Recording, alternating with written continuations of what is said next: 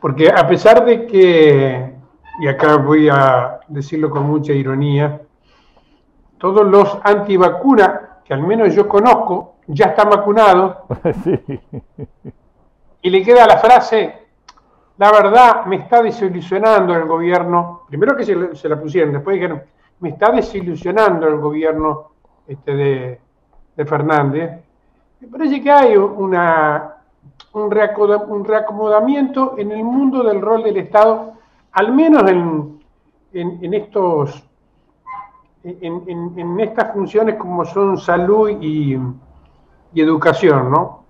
Este, educación yo lo he charlado tantas veces con ustedes, decirles que toda la gente que le molesta el peronismo, o sea que le molesta que el Estado esté tan presente, son los que mandan sus hijos a la universidad pública. Bueno.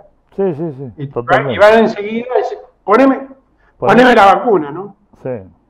Eh, ¿Y por qué no me pusiste la tal? Pero, pero hay otro tema. Yo, la verdad que le había pedido al operador, le pasé un videito, porque viene a cuento, porque hay, hay como... yo es como que me resigné, como que me, si yo soy una mariposa y le digo a una mosca que es más lindo estar dando vuelta entre las flores, cuando la mosca toda la vida estuvo en la caca, habla el Pepe, va a ir a la caca. Sí, sí, sí, sin lugar a dudas. La mosca va a volver a la caca. No va a ir a la flor. ¿Verdad? Sí.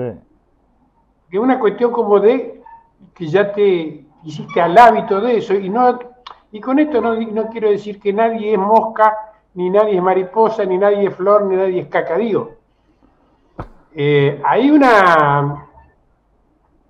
Le voy, a dar, la información. Le voy a dar la información. ¿Tiene el video por ahí el, director, un pedacito que sea? Sí, lo tiene. De lo que hablábamos hace dos meses atrás. Lo tiene, lo tiene, lo tiene. Lo tiene no sé si tenemos el audio para los dos, porque por ahí no sale. A ver. Lo tiene. Debajo de eso, debajo de 60 es, es mínima. ¿Está?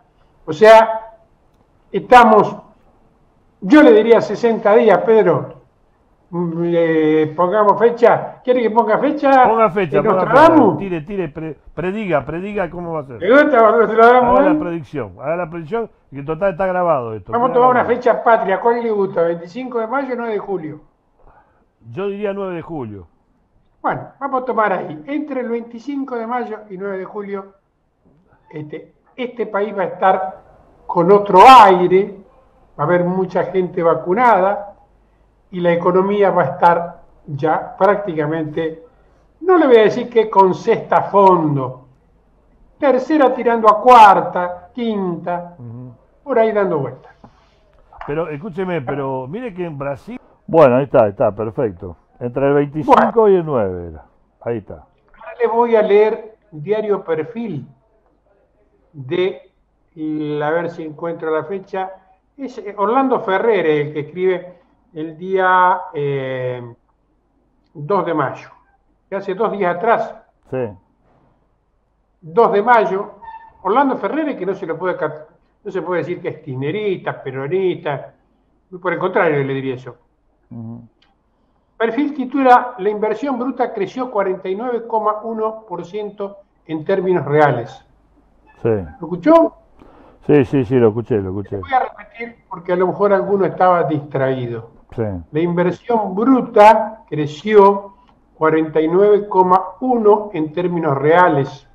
Escrito por Orlando Ferreres, búsquelo por Google en perfil del día 2 de mayo, hace dos días atrás. Este incremento debe ser resaltado por las autoridades. Fíjese lo que le dice. Debe ser resaltado. Le está diciendo que las autoridades están, distraídas pues hace mucho tiempo que no se estaba, no, no, se daba un incremento así del 49,1 en la inversión bruta interna fija entre marzo del 2020 y marzo del 2021. O sea, principio de la pandemia y hoy. Y esta, este renglón también quiero leérselo. Primero debemos aclarar que entendemos por inversión en este contexto. No se trata de la adquisición de acciones o bonos o efectuar un plazo fijo o una cantidad de dinero puesta en el Fondo Común de Inversiones. Todas ellas son inversiones financieras y no se cuentan en esta inversión física. Esta inversión bruta interna fija es la inversión en bienes, ya sea en equipos de producción o construcción efectuadas para un mes o periodo determinado este, del año en el país. ¿Se entiende hasta ahí? Se entiende, sí, sí, sí. Ahora me dice, che, Antonio, ¿qué tiene que ver una cosa con la otra?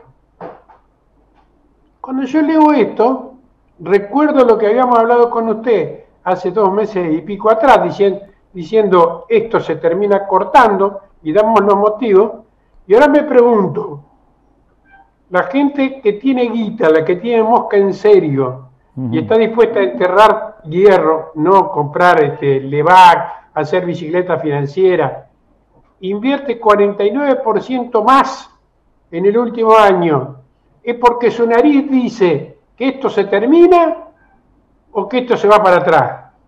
No, no, que se termina, que se termina, que se termina.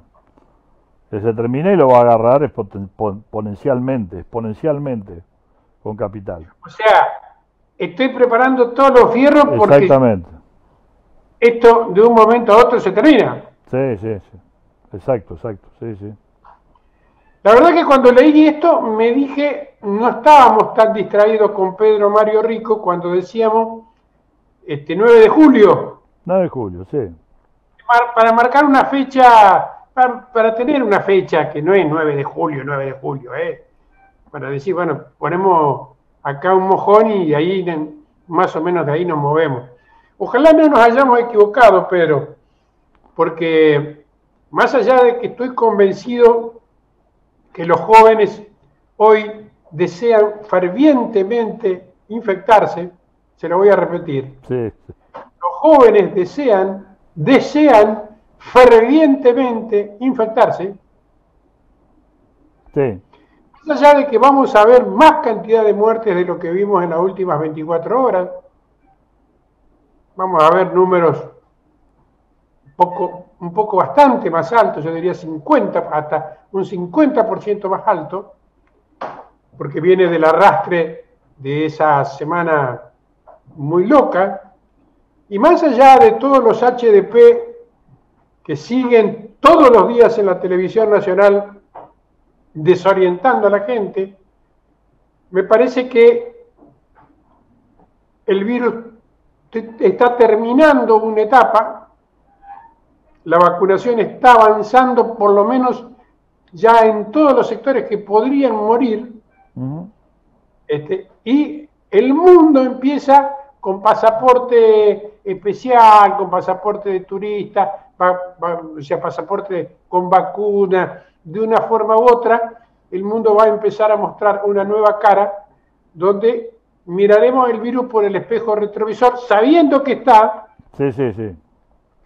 sabiendo que nos puede volver a alcanzar, pero que le sacamos dos pasos de ventaja.